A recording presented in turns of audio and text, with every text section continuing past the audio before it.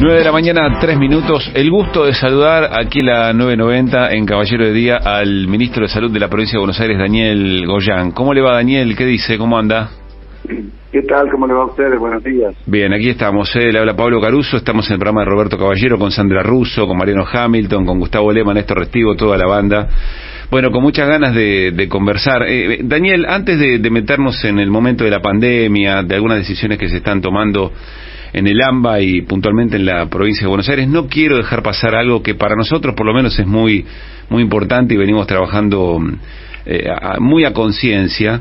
Entiendo que hay una, una decisión, este, más allá de que hay que ver cómo se implementa, tanto el Ministerio de Salud de la Nación como de la provincia de Buenos Aires, de trabajar en un nuevo plan CUNITA. Y aquí hay un hecho concreto que puede mejorarle y mucho la, la, vida a quienes más necesitan de la contención del Estado, pero también en términos simbólicos es, es muy fuerte, ¿no? Sí, claramente porque eh, este, obviamente hemos dicho que el, plan Cunita era un plan que no solamente generaba un nacimiento digno para eh, miles de familias que no pueden acceder eh, a, a una Juárez esas características, desde desde ese punto de vista era un plan que tendía a la equidad eh, en el acceso a la salud también, pero la pero también con, con criterios de dignidad, ¿no? Un costado eh, social muy fuerte, pero además de eso salvaba muchas vidas de chicos, porque evitaba el colecho, porque iba incluido una serie de controles de este de la embarazada, del niño sano, eh, en fin, eh, era un programa integral que además se ha tomado de, muchos países en el mundo, entre ellos Finlandia, que aún siendo un país en donde existe una un, índice de Gini muy eh, equitativo en cuanto a, a, la distribución de la riqueza, quiero decir, no hay, no hay pobreza, ni mucho menos pobreza estructural, y en esos países también se sigue haciendo, independientemente de eso. Así que eh, eh, con este plan, que, lo hablábamos tanto, que lo sentimos que su pérdida fue tan importante, que se pagó en vidas de niños también que hoy no están entre nosotros, obviamente que no podíamos este, dejar de retomar ese plan. Si ese plan va a volver, va a volver a la provincia de Buenos Aires y creo yo va a volver al país también, porque estamos trabajando con el Ministerio de Salud de la Nación para que sea así. Así que eh, no no tengo no tenemos una fecha todavía precisa, pero están trabajando los equipos con con el, mismo concepto este, y ya tengan algunas características propias esta vez, pero con el mismo concepto de cuidados. Y entiendo que quizás, eh, comprendo perfectamente que no hay especificaciones, pero que quizás se complementa o es parte del, del plan de los mil días, ¿no? Exactamente, forma parte del plan de los mil. Sería eh, impensable un plan de los mil días sin un plan cunita. Ah, claro. Eh, lo que quiero decir, bueno, este, se están reviendo algunas opciones que tenemos para producción de, de este tipo de, de elementos que lleva el kit.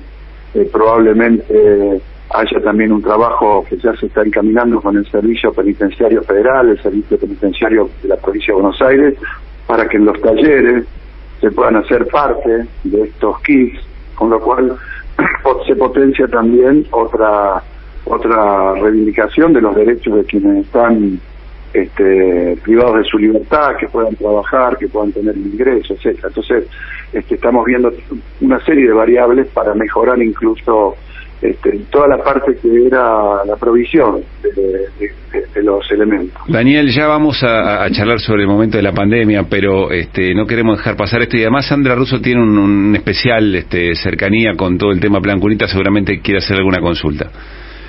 No. Está silenciada, Sandra. Está silenciada. Bueno, eh, no, no te podemos escuchar, este, pero Oh. Ahora sí, ahí estás, ahí estás. Ah, se escucha, se escucha, se escucha. Ahí estoy, buen día, Goyan, ¿cómo le va? Eh, ¿Qué tal? Buenos días.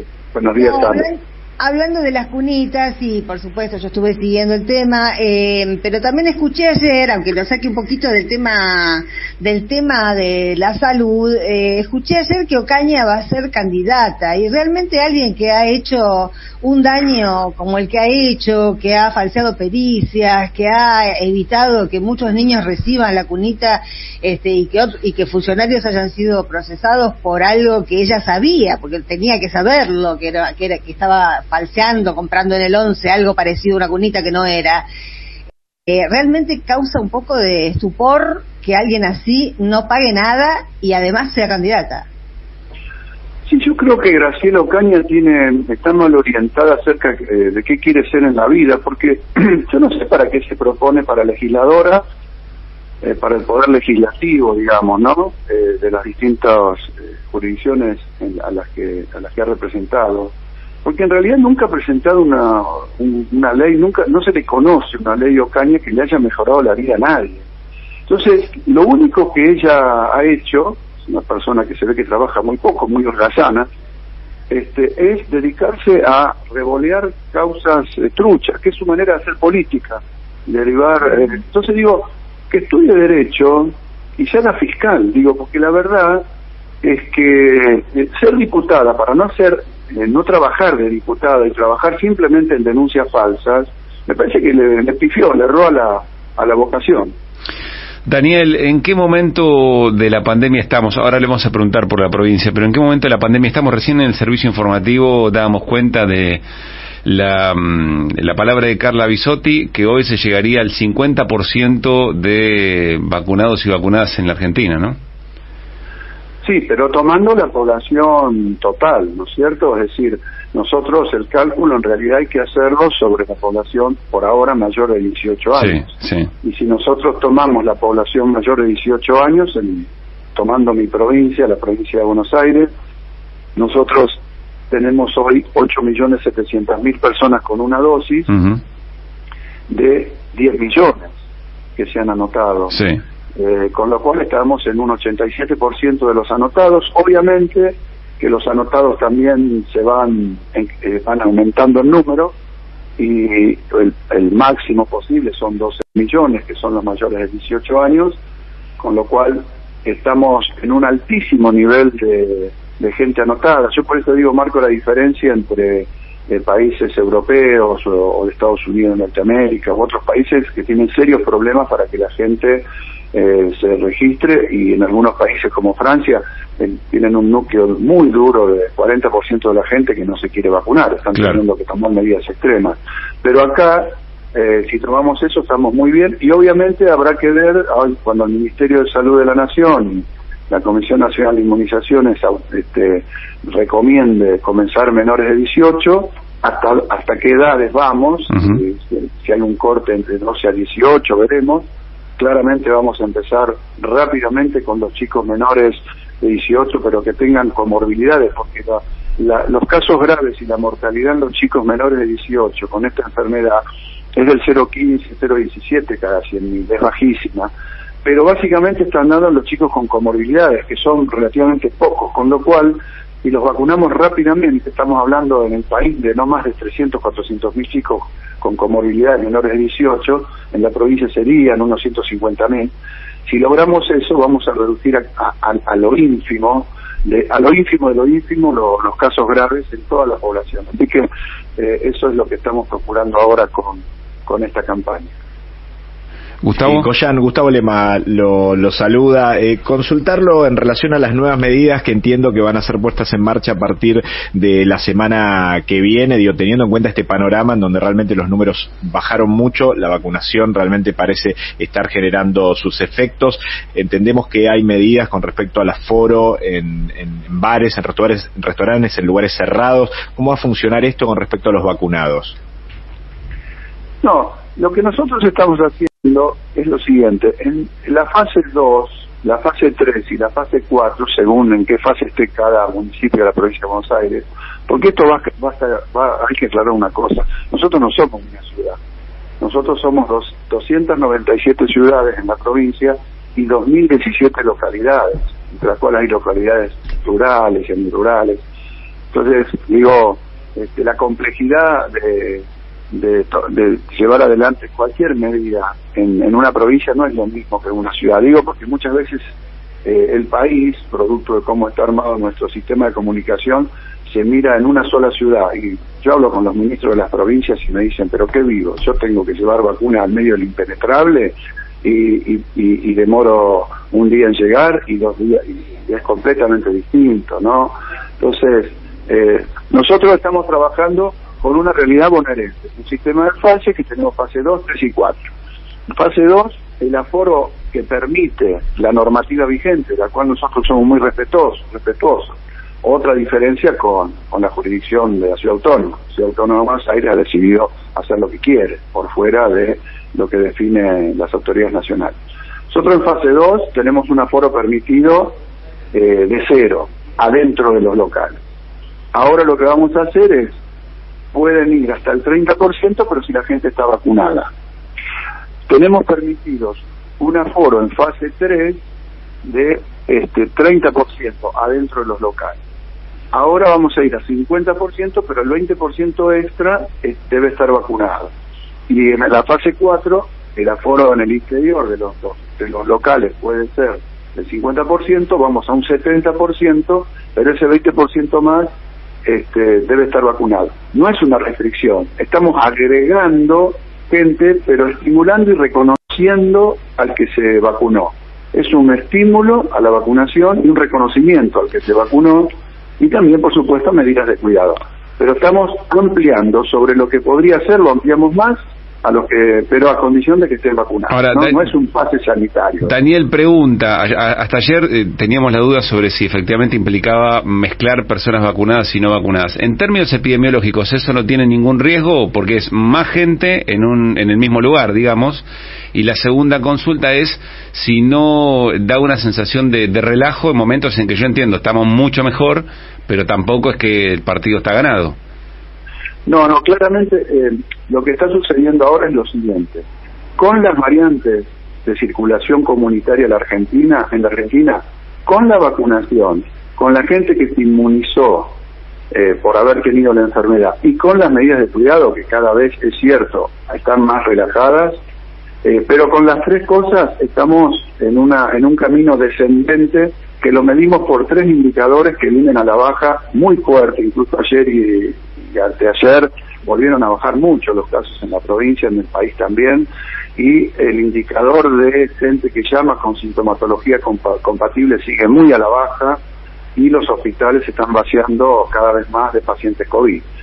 Ahora, nosotros necesitamos un mes y medio, dos meses para llegar a un nivel de vacunación que nos garantice que si entra la variante Delta en forma comunitaria, eh, el resultado sea que puedan aumentar la cantidad de casos, pero no aumente la cantidad de casos graves y fallecidos. Para dar un ejemplo, en Gran Bretaña, al domingo pasado, había 42.000 casos promedio diario semanal. Ahora siguen subiendo, ¿no? Pero al domingo pasado. Con esa misma cantidad de casos, el 31 de diciembre, con la variante británica, con 42.500 casos, había 555 fallecidos por día, promedio semanal. Y ahora hay 41. Y de ese 41, la mayor proporción está sobre gente que no está vacunada. Es decir, la vacuna tiene eh, tienen un efecto tremendo. Obviamente, eh, está bajando entre 10 y 15 veces la mortalidad y las hospitalizaciones entre 5 y 6 veces. Entonces, eh, esto es lo que hay que tener presente. O sea, no, no hay riesgo epidemiológico de, de en, en, el mismo lugar este, meter más gente. Si nosotros podemos mantener las medidas este, de cuidado con estas cepas actuales, eh, va a seguir bajando. Ahora, hay un número indicadores que son automáticos. Si eso rebota, puede rebotar, porque están fallando las medidas de cuidado, nos estamos excediendo en la cantidad de movilidad, de contactos, y el, número empieza a aumentar, automáticamente el indicador nos lleva a retroceder de fase. Eso lo vimos en la provincia de Buenos Aires todo el año pasado. Ahora bien, si se nos mete la, la, la variante Delta antes, esto sí va a suceder, puede suceder, eh, con mucha con mucha este, exactitud estamos diciendo que si se nos mete antes del tiempo, la variante va a empezar, van a empezar a eclosionar los casos cuando todavía nos falta vacunar más gente. Goyan, ¿qué tal? Buen día. Mariano Hamilton. ¿Qué tal, eh, entiendo todo perfectamente. Lo que no entiendo es, que, cómo, cómo se soluciona el tema de la mezcla. O sea, que en el mismo, en el mismo lugar estén los vacunados y los no vacunados. Según tengo entendido por eh, lo que yo sé de epidemiología, que no es mucho, pero sí sé de salud, de, sanitarismo, por mi padre y por mi hermana, es que tienen que tendrían que estar todos vacunados, ¿no? Algunos sí, otros no, porque si no el riesgo es raro, digo, es rara la situación. Primero, primero la primera cosa eh, a considerar, existe un sistema de fases por el cual el aforo con medidas de cuidado se está implementando. Si nosotros agregamos una cantidad de gente que está vacunada, es gente que está protegida y que en su enorme mayoría no puede este, eh, contagiar a otros. Pero de ese, de ese, de ese aforo permitido, eh, la enorme mayoría, por la cantidad de vacunados que tenemos hoy, con al menos una dosis, ya está vacunado. Es decir, si nosotros estamos hablando mayores de 18 años, tenemos ya casi el 87% vacunados con al menos una dosis, de esa gente cuando entren a un bar o un restaurante, la enorme mayoría ya está vacunada.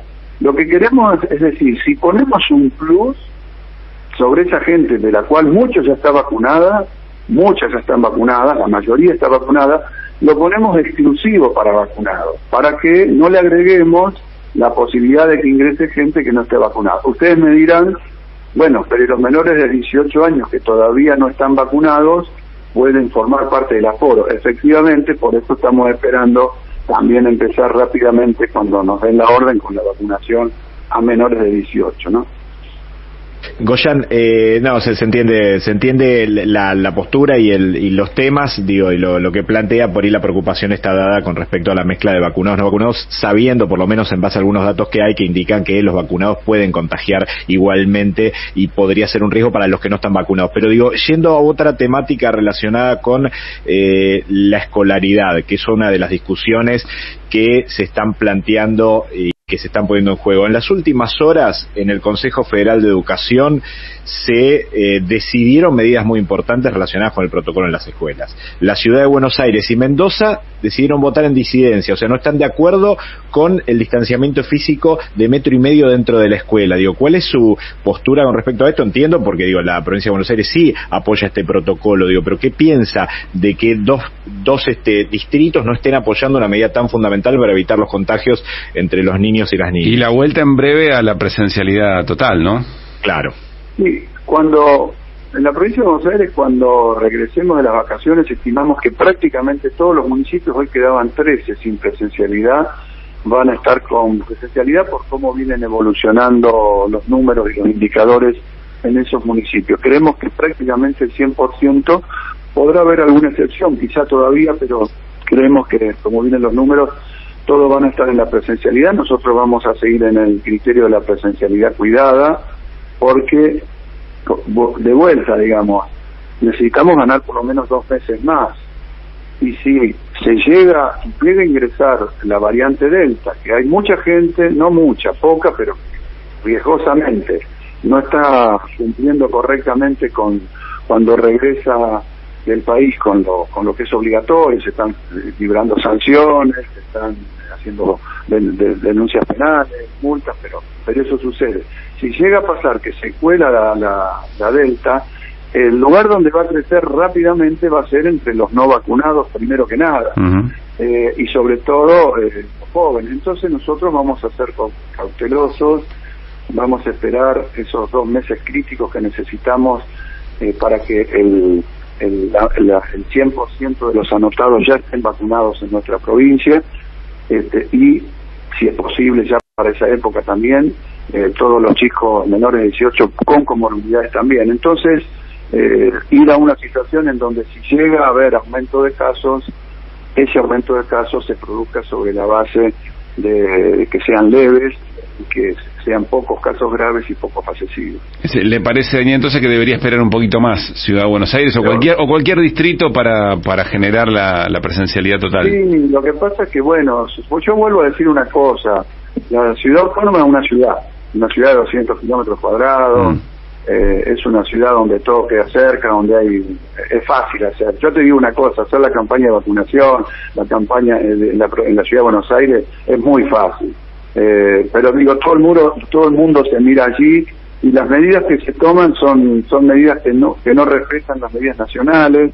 Eh, eh, para nosotros obviamente no lo vemos bien. Nosotros cumplimos a rajatabla porque somos nos consideramos un país y además todo lo que hacemos nosotros en la provincia de Buenos Aires impacta en la ciudad y viceversa, porque el conurbano y la ciudad son una sola unidad epidemiológica, sanitaria, económica, social. Entonces nos parece que esto de cortarse por la libre, me parece también que está muy emparentado a un tema de sacar provecho electoral más que otra cosa, ¿no? Mm. Bueno, Daniel, este, lo último, eh, estamos un poquito más cerca, ¿no? Eh, no para relajar nada eh, y teniendo en cuenta todas las advertencias que usted hace, pero la verdad, pensar muy poco tiempo atrás, que estamos muy cerca de personas mayores de 18 años, este, con, con posibilidad de vacunarse eh, por completo era, era una utopía, no era una cosa muy lejana. Sí, yo quiero mencionar siempre que eh, hay un tema, eh, gestionar una pandemia no es solamente, lo más importante obviamente lo sanitario y lo, y lo epidemiológico, pero tiene componentes este, económicos, sociales, culturales, de todo tipo, porque se hacen comparaciones, ¿no? Y a veces nos comparan con países en donde gestionar la crisis implicó tomar medidas este, y que el Estado, por poder económico que tienen esos países, pudieran revolear y entregar cheques de miles de, dólares a los ciudadanos, pudieran sostener y no tuvieran una situación preexistente crítica como la que tuvo la Argentina. ¿Qué quiero decir con esto? Eh, uno entiende también que hay una dimensión económica, la gente que tiene una necesidad de salir a trabajar y un condicionante político que en la Argentina ha sido fuertísimo porque ha sido el país, y dicho por diarios extranjeros conservadores como The Guardian eh, británico y otros más, en donde la oposición de los medios hegemónicos ultra neoliberales y, y la oposición sobre todo un sector de la oposición más dura de la Argentina, han hecho una oposición salvaje a las medidas de cuidado y a las medidas y a la vacunación. Es decir, el país en donde peor desempeño para ayudar a manejar la crisis ha tenido en el mundo ha sido la Argentina. Entonces también hay que tener eso presente, no, no se gestiona una pandemia únicamente con lo que uno quiere hacer, sino con un montón de realidades. En ese sentido creo que la resultante ha sido buena y es eso lo que explica que también a veces uno tiene que tomar algunas medidas para favorecer alguna actividad económica que está muy, muy, muy caída eh, en algunos sectores vinculados sobre todo al entretenimiento, al ocio, a la diversión, a la gastronomía, etcétera. Y este, pero tenemos el reaseguro de que si el indicador luego empieza a darnos malos resultados, tenemos tiempo para corregir. ¿no? Nuestro sistema sanitario hoy está bastante tranquilo. Daniel, la última la hace Mariano Hamilton.